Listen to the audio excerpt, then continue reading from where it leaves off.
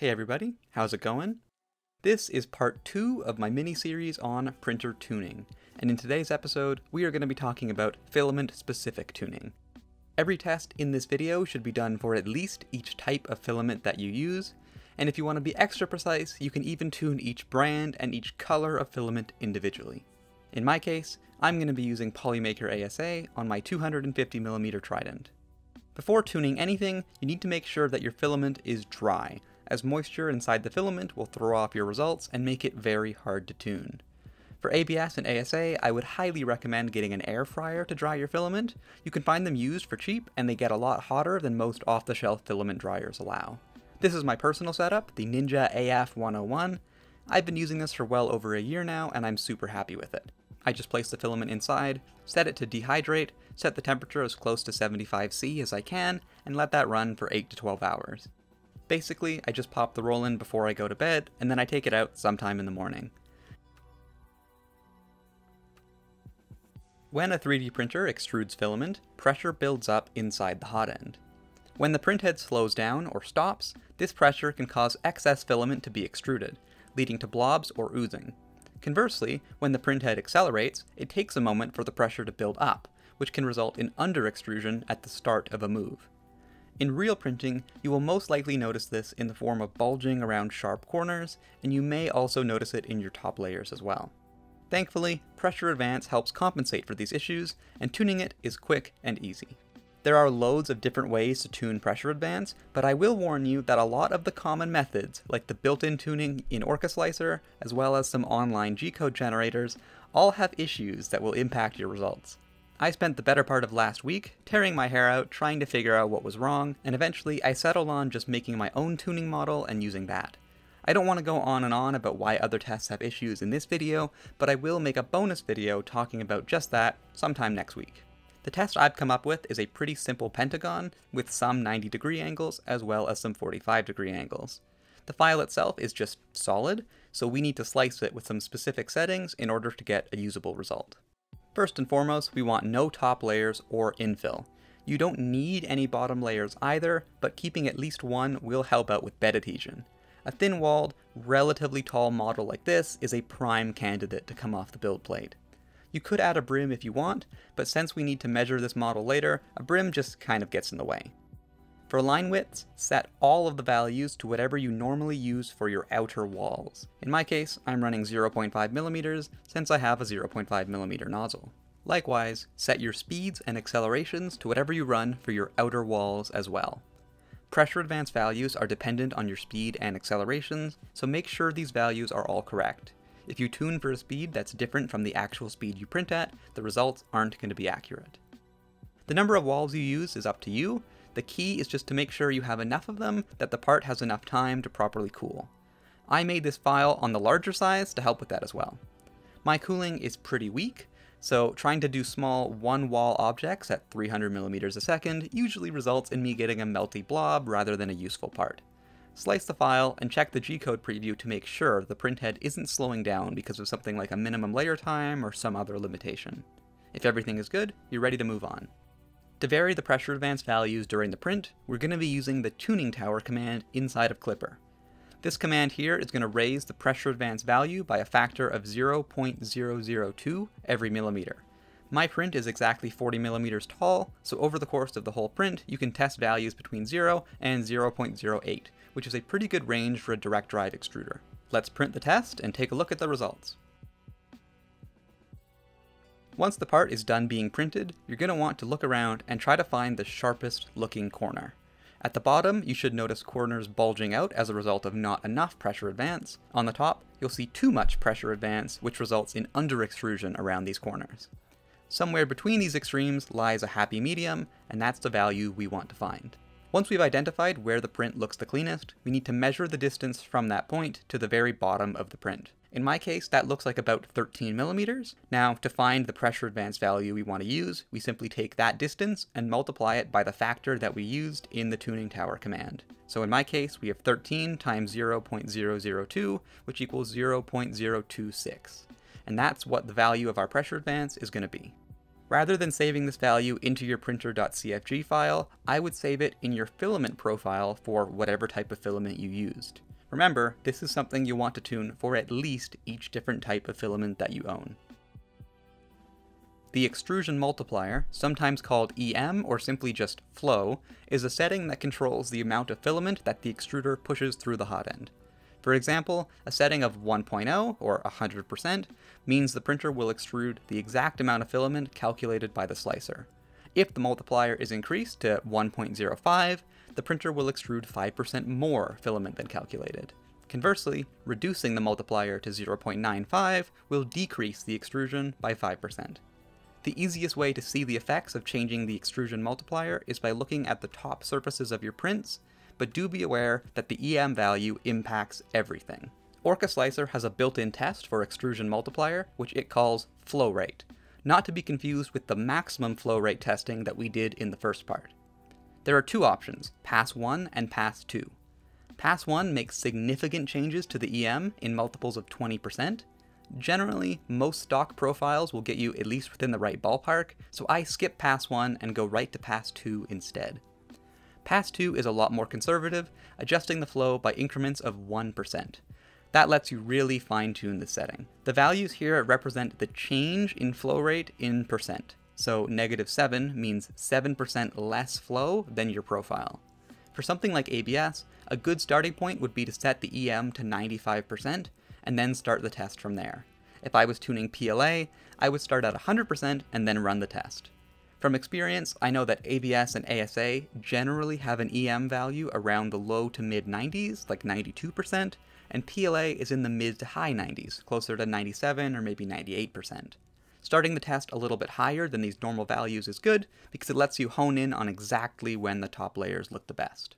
Once everything is printed, you want to carefully inspect the top surfaces for the best result. You don't want to see any gaps between the lines on the top surface, but also don't want the lines to be over extruded such that your top surface isn't smooth. It can be helpful to actually feel the tops of these prints as well. You should be able to immediately feel the difference once you get close to the correct value. In my case, negative 2 looks the cleanest, which corresponds to an extrusion multiplier value of 93% since we started at 95. Alright, now that we've just finished tuning pressure advance and extrusion multiplier, it's time to tune them all over again. You see, all of these settings impact each other, so for the best results we need to retune pressure advance and EM once more.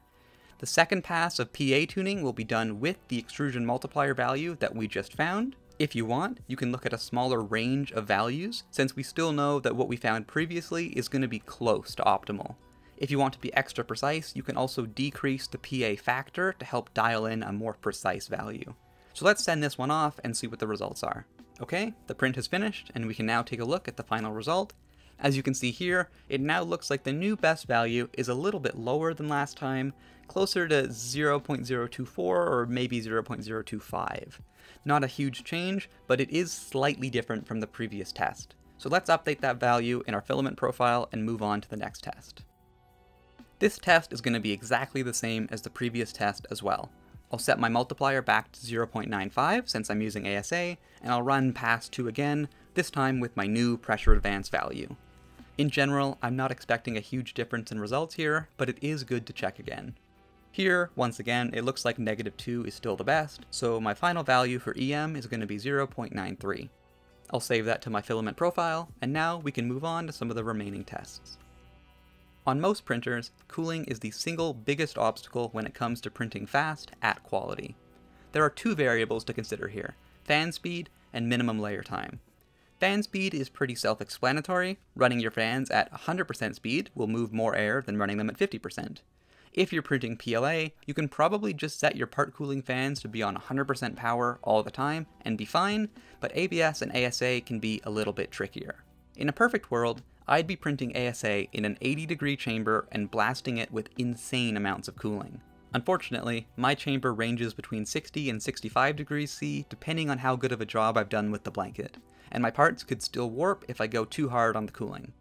Generally, this is only an issue on larger, more warp-prone parts, but it's still an issue. You could vary the fan speed depending on the layer time, but since ASA likes to shrink when cooled, having inconsistent cooling tends to result in ugly looking prints, which isn't ideal. So here's what I personally run for ASA. I keep my fans running at 50% speed all the time, except for overhangs and bridges. I run 100% speed for those. To make sure every layer gets enough cooling, I'm using a minimum layer time in my slicer, which is the second variable that I mentioned earlier. Minimum layer time is a setting that specifies the shortest amount of time a single layer should take to print. It will make sure that every layer takes at least that long by slowing down the printer accordingly. This is particularly useful when printing small parts or fine details, as otherwise there might not be enough time for the layers to cool properly. Think of the smokestack on a Benchy, for example. We want to find the lowest possible value for our minimum layer time, for a couple of reasons. First and foremost, it just means we can print faster. Nobody with a Voron wants to say that it takes them over an hour to print a Benchy. The bigger issue, however, comes back to pressure advance. Since the minimum layer time slows down your prints, you won't be printing at the speeds that you tuned your pressure advance for, and as a result, your print quality will start to suffer. Of course, if your minimum layer time is too low, then you'll also have issues, so we need to find a balance. To do this, I like to print just the very top of a benchy, I like this because we have a bit of everything. We have some overhangs, some bridging, and of course the smokestack at the very top. I sliced a bunch of these, each time going and decreasing the minimum layer time by just a bit. In the end, I sliced a file for 20 seconds, 15 seconds, 10 seconds, 8 seconds, 4 seconds, 2 seconds, 1 second, and no minimum layer time at all. Some of these files, especially the ones with the longer minimum layer times, were extremely slow and boring to watch, so let's skip all the printing and just look at the results.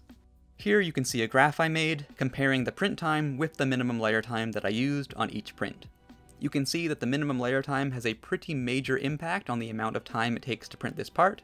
Of course, pure speed isn't the only issue though, we also need to make sure that these parts still look nice. Ironically, the parts with the longer minimum layer time actually look considerably worse than the shorter ones, and this is again because of that pressure advance. You can clearly see that we have some gaps and some other strange artifacts on the sides of the print here. It wasn't until I got down to 1 second minimum layer time that you could see the smokestack was getting a bit melty. With no minimum layer time, the stack looks downright horrible. There isn't a whole lot of science when it comes to picking a value for your minimum layer time, just choose whatever looks the best of the bunch. For most people, especially if you print full plates, or at least just a couple of parts at a time, it's probably pretty unlikely you'll be running up against your minimum layer time anyways. In my case, I've settled on 3 seconds to err a bit more on the safe side. I could bring this down a bit lower if I push my speeds to the max, but you run into diminishing returns here pretty quickly. Alright, with our cooling dialed in, let's move on to the final topic of today's video, retraction. While Orca Slicer does have a built-in retraction test, I'm not super fond of using it, and I'll explain why. When you're printing, Pressure Advance usually does a lot of the work during travel moves. Since its whole function is to even out the pressure in the nozzle, there shouldn't be much extra plastic in the nozzle to ooze out and cause stringing if PA is tuned properly. The problem is that since retraction tests are so tiny, your minimum layer time will kick in and your printer will slow down. Even with my minimum layer time of 3 seconds, I still need to slow down to 20 millimeters per second during the stock test. This is an issue because, as mentioned previously, Pressure Advance is tuned for a specific printing speed, in my case, 300 millimeters per second. Since this test is printed so much slower than normal, my pressure advance is going to be off and the results of the test won't be accurate. My solution here is just to create my own test something I'm going to be referring to as a retraction gauntlet of sorts. Rather than just traveling between two points, I'm going to copy a bunch of cylinders and spread them out all over the whole build plate. The number of different objects you print is up to you, but just make sure to check and make sure that you're actually reaching your normal printing speeds while printing this test. In terms of the settings I use, since I'm running a direct drive setup, I'm going to start with half a millimeter of retraction, and I suspect this will work well. The downside of tuning this way is it undoubtedly takes longer and uses more plastic than the stock test, but I think it's worth it to get more accurate results. If you wanted to, you could print some actual practical models instead of just cylinders here, but make sure to pick something you don't mind coming out a little bit stringy in case your settings are off. If you have some persistent stringing that you just can't seem to tune away, I do have a couple of tips and tricks for you. First and foremost, make sure your filament is dry. Keeping filament dry is something I find most people don't pay enough attention to, but it absolutely makes a difference for something like retraction tuning. All of my tests were done within hours of the filament coming out of the dryer, but really, at this point, I should be exclusively printing out of dry boxes. Next on the list, check your Z-hop settings. Z-hops make stringing worse and also make your prints take longer. If you can run without Z-hops, I definitely recommend it, but even just reducing the height of them can help considerably.